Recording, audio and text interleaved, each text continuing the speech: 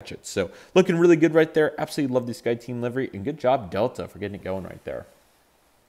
Hanging out at gate number six, we have some Penguins for Frontier on their Airbus A320neo. This is Ed, Eddie, and Edwin. These guys are currently going to be making their turnaround out to Denver today.